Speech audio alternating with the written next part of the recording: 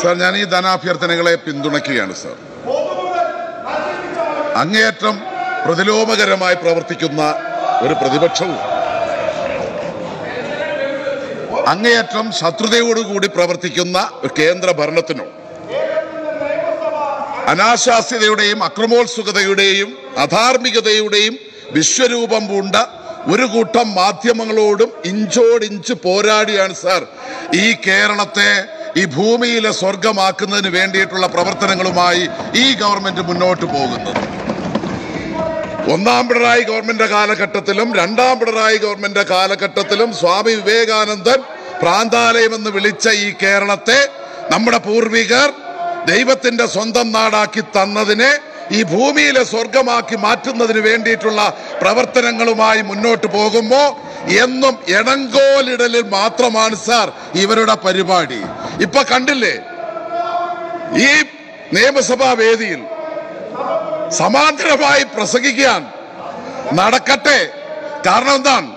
ഇവരുടെ മീറ്റിങ്ങുകളിൽ പോലും സ്വസ്ഥമായിട്ട് ഇവർക്ക് സംസാരിക്കാൻ കഴിയില്ല. കാരണം കെ പി സി സി യോഗത്തിൽ പോലും സംസാരിക്കാൻ വേണ്ടി കഴിയില്ല. പുറത്ത് പ്രസംഗിക്കാൻ പോയാൽ ജനം കൈകാര്യം ചെയ്യും. ഇവിടെ സംരക്ഷണമുണ്ടല്ലോ. ആ സംരക്ഷണം ഉണ്ടായതുകൊണ്ട് അവർ പ്രസംഗിക്കട്ടെ സാർ. അവരുടെ മനസ്സ് നിറഞ്ഞ് അവർ പ്രസംഗിക്കുകയാണ്.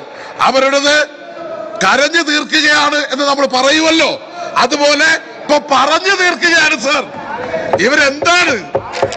ആര് കഴുതയെന്ന് പറയൂല്ലേ? അങ്ങനല്ലേ? കഴുത കരഞ്ഞു തീർക്കുമെന്നല്ലേ പറയുക. അതുപോലെ യു ഡി എഫ് ഇവിടെ പറഞ്ഞു തീർക്കുകയാണ്. അവരുടെ സ്വപ്നങ്ങളെല്ലാം കരിയുകയാണ്. അതിൽ നിന്നുള്ള പ്രതിഫലനമാണ് ഈ കാണുന്നത്. എന്താണ് സാർ? ഇവരെന്ന് തുടങ്ങിയതാണ്. ഇന്നും ഇന്നലെയും തുടങ്ങിയതല്ല. ഇത് ആദ്യത്തെ സംഭവമല്ല. കേരളത്തിലെ ജനങ്ങൾക്ക് ഇത് നന്നായിട്ട് അറിയാം എന്താണ് ഇവർ ചെയ്തുകൊണ്ടിരിക്കുന്നത്? നമുക്കറിയാമല്ലോ കേരളത്തിന്റെ വികസനത്തിൽ മാറ്റുകൂട്ടുന്ന ഗെയിൽ പൈപ്പ് ലൈൻ. ആ ഗെയിൽ പൈപ്പ് ലൈൻ പദ്ധതി നടപ്പിലാക്കുന്നതിന് അതിശക്തമായി എതിർക്കുകയും സമരം ചെയ്തവരുമാണ് സാർ ഇവർ. അതുപോലെ തന്നെ നാഷണൽ ഹൈവേ. ആ നാഷണൽ ഹൈവേ ഭൂമി ഏറ്റെടുക്കുന്നതിനെതിരെ ജനങ്ങളെ സംഘടിപ്പിച്ച് സമരം ചെയ്തവരാണ് സാർ. അതിനെയും ജനം തള്ളി ജനങ്ങളെ ചേർത്ത് നിർത്തിക്കൊണ്ട് പിണറായി ഗവൺമെന്റ് അത് പൂർത്തീകരിച്ചു. അതുപോലെ നമ്മ കേരളം കണ്ട ഏറ്റവും വലിയ പ്രളയം ആ മഹാപ്രളയ കാലഘട്ടത്തിൽ അതിനോട് സഹകരിക്കാതെ അതിനെ മുഖ്യമന്ത്രിക്ക് ദുരിതാശ്വാസ നിധിയിലേക്ക് പൈസ കൊടുക്കരുതെന്ന് പറയാതെ ഉദ്യോഗസ്ഥരോട് അധ്യാപകരോട് കടം ചോദിച്ചപ്പോ ആ കടം ചോദിച്ചിറക്കിയ ഉത്തരവ് കത്തിച്ച നികൃഷ്ട ജീവികളാണ് സാർ ഈ യു ഡി എഫുകാർ അത് ഈ കേരളം കണ്ടതാണ് പിന്നെയോ ഇവിടെ ഇതാണെങ്കിൽ കോവിഡ് കാലഘട്ടത്തിൽ അതിനെ പ്രതിരോധിക്കുന്ന പ്രവർത്തനങ്ങൾ നടത്തിയപ്പോ വാളയാറിൽ പോയി സമരം നടത്തി ഈ കോവിഡിനെ വ്യാപിപ്പിക്കുവാൻ വേണ്ടി പരിശ്രമിച്ചവരാണ് സാർ. അമ്മ ചത്താലും വേണ്ട അല്ല മോൻ ചത്താലും വേണ്ടിയില്ല. മരുമോളെ കണ്ണീര് കണ്ടാൽ മതി. എന്ന നിലയിലാണ് സാർ ഇവർ. ഇവർ നന്നാവത്തില്ല. എന്നെ തല്ലണ്ട അമ്മാവ ഞാൻ നന്നാവത്തില്ല. എന്താ കാരണം? ഇവിടെ ഞാൻ പറഞ്ഞ റായ്പൂരിൽ പോയി. അവർ നന്നാവത്തില്ല എന്നുള്ളതിന്റെ തെളിവ് റായ്പൂരിൽ പോയി പ്ലീനറി സമ്മേളനം നടത്തി. എടുത്ത തീരുമാനം എന്താണ്? എല്ലാവർക്കും മദ്യപിക്കാം. എല്ലാവർക്കും മദ്യപിക്കാമെന്നും പറഞ്ഞ് പ്ലീനറി സമ്മേളനം നടത്തി തീരുമാനമെടുത്തവരോട് പിന്നെ എന്ത് സാർ? എന്ത് പറഞ്ഞിട്ട് എന്ത് കാര്യം? അല്ലെ? ചെകുത്താനോട് വേദം ഓതിയിട്ട് വല്ല കാര്യമുണ്ടോ? നിങ്ങൾ നന്നാവത്തില്ല ഇത് തുടരും. ഇപ്പോ ഇപ്പൊ നാപ്പത്തൊന്നുണ്ട്. അത് ഭാവിയിൽ നാലായി മാറും എന്നുള്ള കാര്യത്തിൽ ഒരു സംശയവും വേണ്ട. കേരള ജനത ഇത് കണ്ടുകൊണ്ടിരിക്കുകയാണ്. ഇവിടെ ഇതാണ് പണിയെങ്കിൽ ഇവരുടെ എം പിമാർക്ക് എന്താണ് സാർ പണി? ഇവിടെ എം പിമാർക്ക് എന്താണ് സാർ പണി? കേരളത്തിന് പ്രളയകാലത്ത് റേഷൻ അരി തന്നപ്പോ ആ അരിയുടെ കാശ് പിടിച്ചപ്പോ അവിടെ ഉണ്ടല്ലോ. ഇതിന്റെ പകുതി ഇതിന്റെ പകുതി അവിടെ ഉണ്ടല്ലോ കേരളത്തിൽ നിന്ന് തന്നെ. കേരളത്തിൽ നിന്ന് തന്നെ പകുതിയുണ്ട്. പക്ഷേ ആ കാശ് പിടിച്ചപ്പോ ഇവിടെ പ്ലക്കാർഡ് പിടിക്കുന്നു സ്പീക്കറെ തടയുന്നു നടുത്തളത്തിൽ ഇറങ്ങുന്നു യോഗം നടത്തുന്നു. പക്ഷേ കമാതൊരക്ഷരം മിണ്ടാൻ. ഇവിടത്തെ എം പിമാർക്ക് കഴിഞ്ഞിട്ടുണ്ടോ സാർ സായിപ്പിനെ കാണുമ്പോ കവാത്ത് മറക്കുന്നത് പോലെ ബി ജെ പിയെ കാണുമ്പോ കവാത്ത് മറക്കുന്നവരാണ് സാർ ഇവർ. അത് മാത്രമല്ല ഇവിടെ റേഷന്റെ റേഷൻ വിഹിതം അതിന്റെ കാശ് പിടിച്ചപ്പോൾ മാത്രമാണോ? നമുക്ക് ലഭിക്കേണ്ട കേന്ദ്ര വിഹിതം.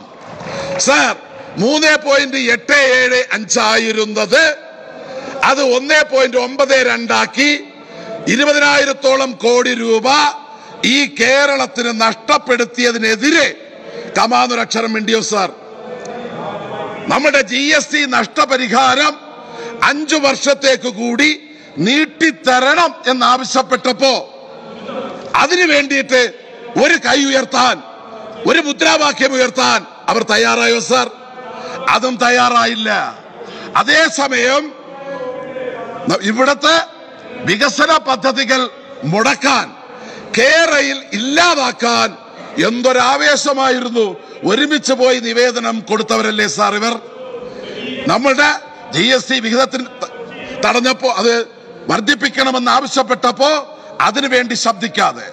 നമ്മുടെ വിമാനത്താവളം ഇവിടെ തിരുവനന്തപുരം വിമാനത്താവളം ലേലത്തിന് വെച്ചപ്പോൾ അതിൽ പങ്കെടുത്ത കേരള ഗവൺമെന്റിന് അത് നൽകാതെ രാഷ്ട്രീയ തീരുമാനത്തിന്റെ ഭാഗമായി അദാനിക്ക് നൽകിയപ്പോ അതിനെതിരെ കമാന്നൊരക്ഷരം മിണ്ടിയോ സാർ?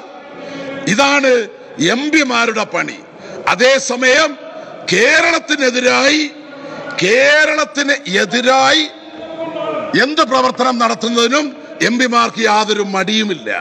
അങ്ങനെ എം പിമാരും എം എൽ എമാരും ഒരേ തൂവൽ പക്ഷികളായി ഒരു നാണയത്തിന്റെ ഇരുവശങ്ങളായി കേരള ജനതയെ ഇല്ലാതാക്കാൻ ഈ കേരളത്തിന്റെ നന്മകളെ ഇല്ലാതാക്കാൻ വേണ്ടി പരിശ്രമിക്കുകയാണ് സാർ.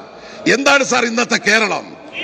ഈ കേരളം ഇന്ന് പാവപ്പെട്ടവന്റെ മക്കൾക്ക് പഠിക്കാൻ ഹൈടെക് സ്കൂളുള്ള അവർക്ക് ചികിത്സ നേടാൻ ഹൈക്കോട്ട് ഹൈടെക് ആശുപത്രികളുള്ള അവർക്ക് കഴിക്കാൻ കൃത്യമായി റേഷനുള്ള അത് വാങ്ങിക്കാൻ പെൻഷനുള്ള സമ്പൂർണ വൈദ്യുതീകരണമുള്ള സമ്പൂർണ സാക്ഷരതയുള്ള നാടായി ഈ കേരളത്തെ മാറ്റിയത് സഹിക്കുന്നില്ല സാർ. ഇതിങ്ങനെ തുടർന്നാൽ ഇതിങ്ങനെ തുടർന്നാൽ തങ്ങൾക്കിനി ഒരിക്കലും അധികാരത്തിലേക്ക് തിരിച്ചു വരാൻ കഴിയില്ല എന്നുള്ള നിരാശയിൽ നിന്നാണ് സാർ ഇതുപോലുള്ള കോപ്രായങ്ങൾ കാണിക്കുന്നത്. അസംബന്ധങ്ങൾ പറയുന്നത് അസത്യങ്ങൾ പ്രചരിപ്പിക്കുന്നത് കുറെ മാധ്യമങ്ങൾ മുദ്രാവാക്യം കൊടുക്കും. കൊച്ചിയെ കൊല്ലരുത് അല്ലെ? തുടങ്ങിയിട്ടുള്ള മുദ്രാവാക്യങ്ങൾ കൊടുക്കും അത് ഏറ്റുപിടിക്കും. നിങ്ങൾ എങ്ങനെ നന്നാവും? കാരണം നിങ്ങളെ നേതാവാരാ? സ്വപ്ന സുരേഷ് കള്ളക്കടത്ത് കേസിലെ പ്രതിയെ നേതാവായി അംഗീകരിച്ച് രാഷ്ട്രീയ പ്രവർത്തനം നടത്തുന്ന ഈ പാർട്ടിയുടെ അവസ്ഥ എന്തായിരിക്കും സാർ? സ്വപ്നയുടെ വാക്യങ്ങളാണ് അവർക്ക് വേദവാക്യം. സ്വപ്നവാക്യങ്ങളെ വേദവാക്യങ്ങളായി കണ്ടുകൊണ്ട് ബി ജെ പിയെ കാണുമ്പോൾ മുട്ടുമുറ മുട്ടിടിക്കുന്ന ഈ പ്രതിപക്ഷം കേരളത്തിന് അപമാനമാണ് സാർ. ഈ വ്യവസായങ്ങളുടെ ശവപ്പറമ്പായിരുന്ന ഈ കേരളത്തെ വ്യവസായികളുടെയും വ്യവസായങ്ങളുടെയും പറുദീസയാക്കി മാറ്റി. അധികാരം ഏറ്റെടുത്ത നാൾ മുതൽ മീറ്റ് മിനിസ്റ്റർ പരിപാടി വഴി എല്ലാ ജില്ലയിലും സഞ്ചരിച്ച് വ്യവസായികളുടെ പ്രശ്നങ്ങൾ കേട്ട് നല്ലൊരു വ്യാവസായിക അന്തരീക്ഷം സൃഷ്ടിച്ച് മുന്നോട്ട് പോകുന്ന വ്യവസായ വകുപ്പും ലോഡ് ഷെഡിങ്ങും പവർ കട്ടും ഇല്ലാത്ത ജനങ്ങൾക്ക് സദാസമയവും വൈദ്യുതി ലഭ്യമാക്കുന്ന ഒരു നാടാക്കി ഈ കേരളത്തെ മാറ്റിയ വൈദ്യുതി വകുപ്പും മുന്നോട്ട് പോകുമ്പോ ഈ നേട്ടങ്ങളെയെല്ലാം തച്ച് തകർക്കാൻ തങ്ങളാൽ കൊണ്ടാകുന്നത് എന്ത് കഴിയും എന്ന ചിന്തയിൽ മുന്നോട്ട് പോകുന്ന ഈ പ്രതിപക്ഷം ഈ കേരളത്തിലെ അപമാനമാണ് ശാപമാണ് സാർ. അത് മനസ്സിലാക്കാൻ ഈ കേരളത്തിലെ ജനതയ്ക്ക് നന്നായി കഴിയുന്നുണ്ട്. ഇതെല്ലാം കേരള ജനത കണ്ടുകൊണ്ടിരിക്കുകയാണ്. അതുകൊണ്ട് ഈ മനസമാധാനത്തോട് കൂടിയിട്ടുള്ള അവരുടെ മറ്റ് ശല്യങ്ങളില്ലാതെ തെല്ലില്ലാതെ യു ഡി എഫിന്റെ യോഗങ്ങളിൽ കണ്ടിട്ടില്ലേ സാർ? സ്റ്റേജിൽ അമ്പത് താഴെ രണ്ട്. ഇതാണ് അവസ്ഥ.